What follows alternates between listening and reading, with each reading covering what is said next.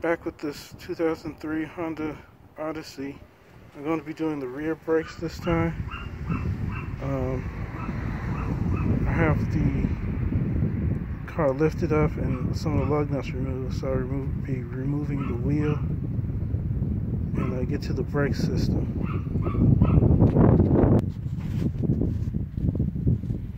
Okay, first thing I'll be doing is taking off the caliper and uh, one, two bolts here. Let's take a 12 millimeter wrench to remove those.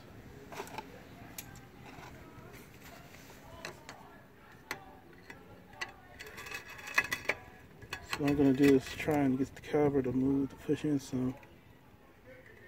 It's working. Make it easier to take the caliper off.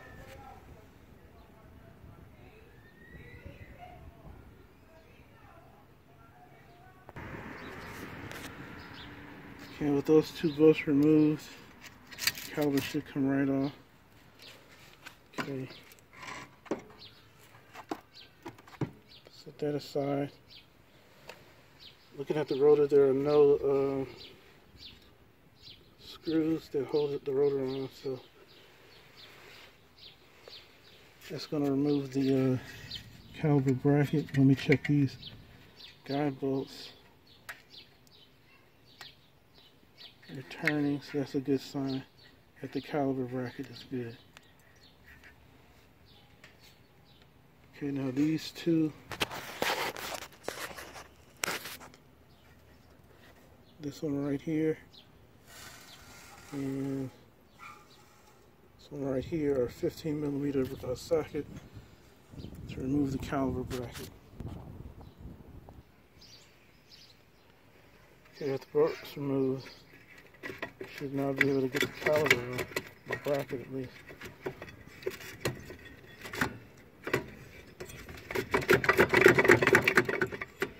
Because of the ridge that's on the, uh, the rotor here, the pads are difficult to get off. So I just pry it off of here. Not hurt anything but the old brake pads.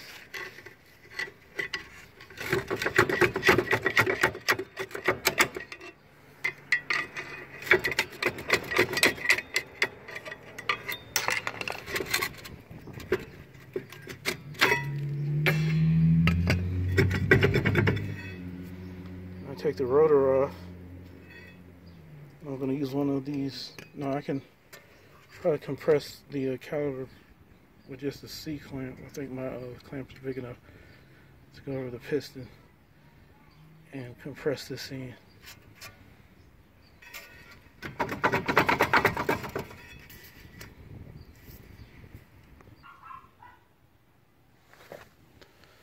Okay, I got the rotor removed and uh, the pistons compressed into the uh, caliper.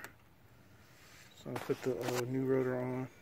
I sprayed it with brake clean to get the, uh, residues on here off.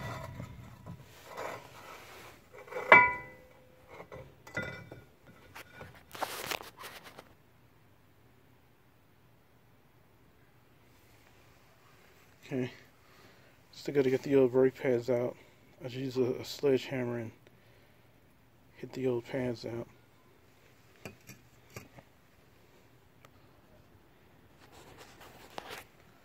Okay, there's a correction on the uh, caliper bracket bolts. These bolts here take a 14 millimeter, not a 15. These two bolts here are 15. Now I'm going to replace the uh, brake pad guides, the hardware, and install the brake pads.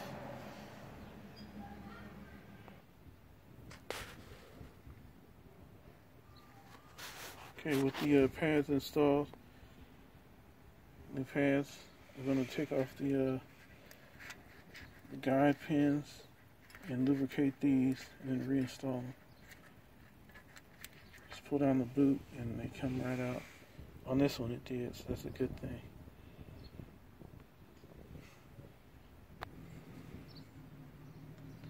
Okay, everything's ready for the caliper to be installed.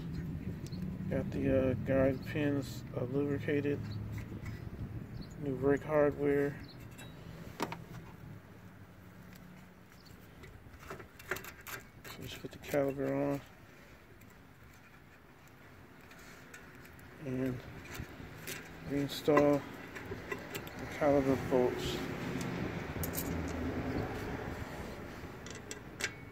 These take a 12 millimeter wrench to tighten and, and, and remove them.